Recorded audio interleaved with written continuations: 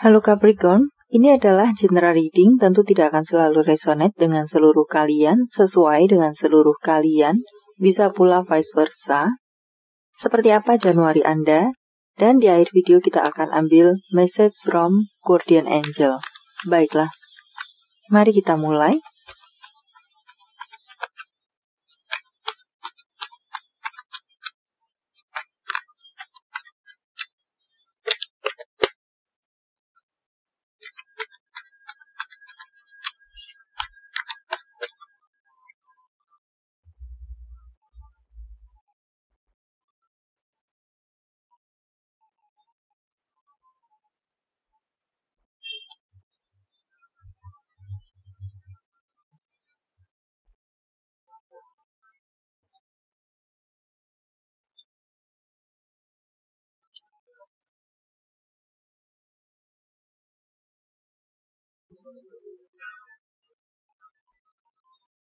So, saya rasa di sini untuk masalah rezeki Anda, sepertinya ada beberapa dari Anda yang mungkin akan mengerjakan proyek-proyek lama Anda yang sempat terhenti atau bahkan terbengkalai. Pekerjaan lama Anda. Mengerjakan kembali pekerjaan lama Anda. Okay? Dan untuk beberapa dari Anda, mungkin akan mengerjakan pekerjaan baru atau proyek-proyek baru. Beberapa di Anda mengalami kemajuan dalam hal keuangan Anda, sehingga mungkin Anda bisa menabung, Anda bisa berinvestasi.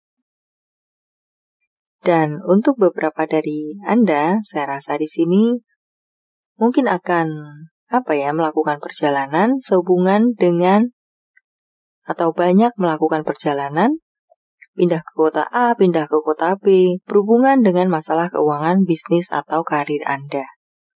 Okay. Dan untuk masalah life Anda di sini, sepertinya beberapa dari Anda akan bertemu dengan orang-orang yang mungkin bisa dibilang sefrekuensi dengan Andakah, sepemikiran dengan Andakah, sehingga mungkin bisa juga di sini melakukan kerjasama pada akhirnya tanam menanam modal mungkin atau saling berkonsultasi untuk untuk apa pun itu karena sefrekuensi banyak membicarakan hal yang menyenangkan bersama mungkin. Dan untuk Anda-anda yang single, saya rasa di sini akan bertemu dengan seseorang yang mungkin Anda rasa klik dengan Anda. Sehingga mungkin Anda akan mencari tahu lebih tentang dia, bisa juga di sini uh, akan apa ya terjadi koneksi yang lebih intens di antara kalian. Okay? Dan saya rasa di sini perasaan Anda tersebut tidak bertepuk sebelah tangan. Dan untuk Anda-Anda yang berpasangan, hmm, tampaknya mungkin ada getaran gangguan dari pihak ketiga Pihak ketiga di sini bisa orang baru, bisa juga mantan dari Anda atau pasangan Anda. Entah di sini e, berasal dari mana, maksud saya adalah apakah berasal dari bertemunya kembali di sosial media, atau bertemunya tiba-tiba di tengah jalan tanpa sengaja. Yang intinya adalah berpotensi untuk membuat pasangannya Seseorang di sini, apakah Anda atau pasangan Anda, merasa terganggu dan tidak nyaman, dan bisa overthinking mungkin, stres mungkin. Terjadi kekhawatiran untuk terjadinya perselingkuhan antar uh, siapa pun yang mantannya muncul kembali nanti. Dan untuk beberapa dari Anda di sini, yang memiliki hubungan benar-benar sudah berada di ujung tanduk dan atau meruncing, sulit untuk disatukan kembali. Jika memang pernikahan, bisa juga terjadi perceraian di antara kalian. Okay?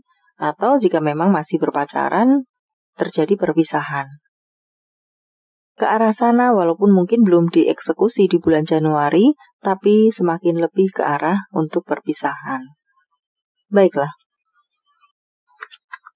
Pesan malaikat untuk Anda sepanjang bulan Januari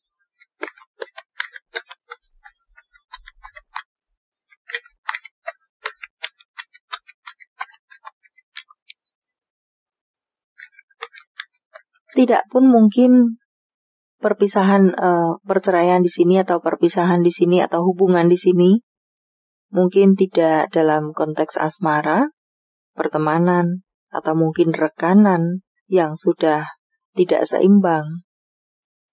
Semacam itu terjadi untuk berpisahnya rekanan kalian.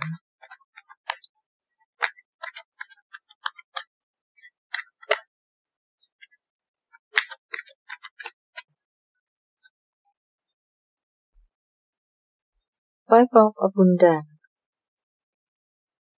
Jangan ragu untuk meminta pertolongan jika Anda memang membutuhkannya. Tree of Abundance dalam hal keuangan mungkin di sini. Penambahan modal, salah satu contohnya uluran tangan. Tree of Abundance Oh, lakukan apa yang membuat Anda gembira dan di sini percaya diri dengan apa yang menjadi talenta Anda, kemampuan Anda, atau apa ya, bakat-bakat Anda. Percaya diri dengan segala bakat-bakat Anda dan semakin kembangkan itu. Manifest your dream. You ready to go? So, ya, Anda sudah memiliki banyak apa ya? Anda sudah memiliki banyak hal yang bisa menjadi modal untuk Anda mewujudkan mimpi Anda. Banyak modal di sini mungkin memang materi, mungkin kemampuan, mungkin bagi Anda-Anda yang uh, masih menyimpan kemampuan Anda perlu untuk berani menampilkan itu Manifest your dream, wujudkan mimpi Anda. Oke, okay, baiklah. Sampai di sini dulu, semoga bermanfaat. Thank you for watching. See you.